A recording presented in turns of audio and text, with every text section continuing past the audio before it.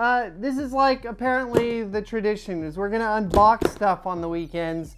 We're gonna try to get some videos out about the stuff in the boxes. Unfortunately, what happened last week is we had a couple issues with a couple of the products that took us a little bit longer to review them. And then uh, in the case of the, the mini box over here, uh, we can get to the BIOS screen, but we can't post into any operating system. I've been messing with that and I've emailed them. I don't know what's going on. I'm gonna get it figured out though. That's not a knock on the product, just to clarify, because we don't know anything yet. But that being said, let's get into another what's in the box. Starting things off, uh, let, let's, let's put this over here. It's like a tower of boxes, except this side's much, much larger. Let's start out with this. I, I don't know what this is. Let's see. Bit intercom headset. Oh, okay, awesome. So this is for the motorcycle and this is a an in, intercom basically it is a uh, what do you call it it's a um, it's a bluetooth headset that goes into your helmet so this will actually be a review of this which there you go will be over on the son of a brap youtube channel which is my moto vlogging channel that i post on uh, semi-frequently, let's say once a week at this point about, give or take. So we'll go do a review of that over on that one. I'm just gonna set it over here. Awesome, I'm, uh, I don't know why it came with this. Uh, it looks like an adapter. Yeah, it's a US wall adapter. Okay, I don't know what's in here, but let's find out. Aha! The first piece to the glorious puzzle. This is an NVIDIA NVLink, not to be confused with SLI bridge that we're gonna be checking out tonight. Yeah. So that's gonna run you about $80 though. For this. So hopefully, uh, you know, NVLink has some good support. We'll find out. Let's see what's in here. Oh, oh, well, this completes the puzzle that we, we needed. This completes it. Okay, so I got this from a place called Cutting Edge Gamer. I usually re release GPUs here and there from them uh, for review on the channel, and it's the way I get a hold of my GPUs. And if you guys have been paying attention to the market, it's absolutely impossible to get a 2080 Ti. So in the interim, we are going to be, let me get this. SLIing some 2080s and that's what all that's for. So I hope to see you guys either on my Twitch channel at twitch.tv slash tech underscore testing this out tonight or over on YouTube. I haven't decided. If I'm not live right now on YouTube and you're watching this on October 5th, it's probably a pretty good bet that I'm over on Twitch benchmarking. So there you go. Okie dokie, so this is in preparation for something else. This is from Mod My Mods. I don't know if I have an affiliate link with them yet, but they help me out a lot and I will put a link in the show notes below. Not giving it to me, but they help me out. I get some cuts. So they've been super awesome and I get a lot of stuff from them because they usually have Barrow fittings.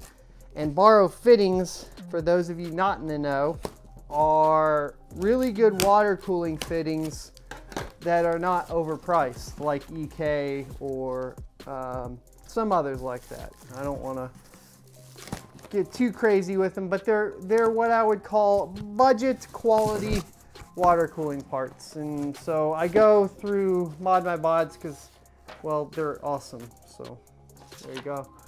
Uh, let's see. So we have a whole bunch of fittings here. And then we have some tube right here. You can actually pick this tube up for like 60 cents a foot on Mod My Mods right now, it is just soft tubing. Yes, this is all soft tubing stuff because here are some quick disconnects and we are going to be essentially uh, creating ourselves a test bench water loop in preparation for the water blocks that are going to come in for these. Hopefully at some point. Whenever Alphacool decides to ship them, we will get them.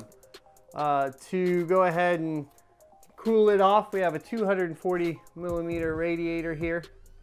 And this should be copper and brass. There you go, perfect. And then we have pretty much my favorite, um, my favorite pump res combo. It is an Alphacool as the D5, and I believe this is 150 milliliter as well. So this all is pretty much, I'm probably gonna throw it all right back in this box later. I'm gonna at least throw these fittings back in there. These are just basic compression fittings for the soft tubing, nothing too special there.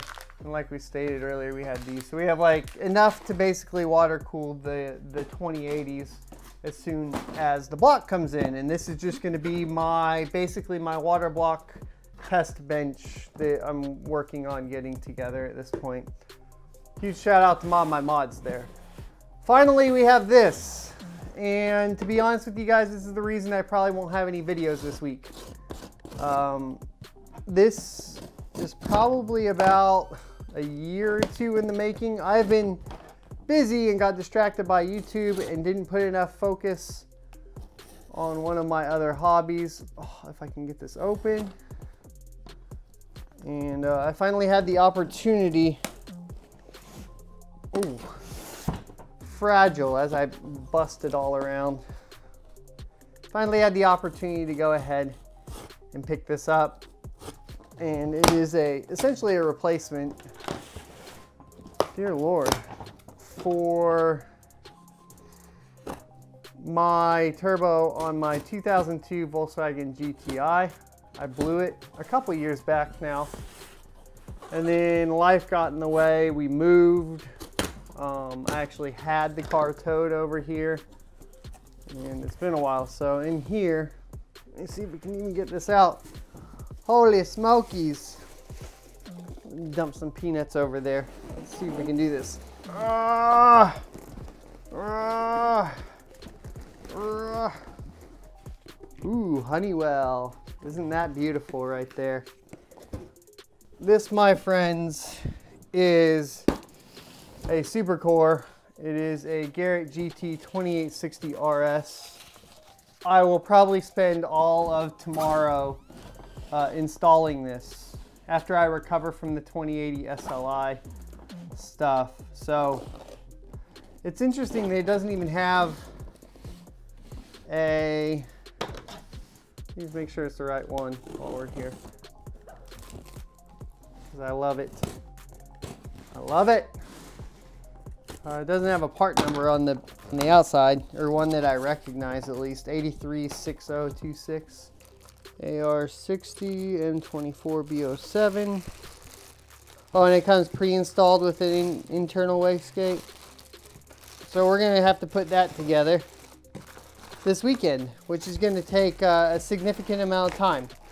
Because once I have it together, I also have to mount it up in the car. So I'm assuming I have, uh, because of the location and then having to drop axles on that car, um, I have to reassemble all of that and I have to actually assemble the turbo. So there you go. Let's uh let's party. Thanks for watching. Be sure to like, comment, subscribe as always. Uh, share the videos around if you find any of them particularly helpful because that would be super awesome of y'all. And I will see you next Tuesday.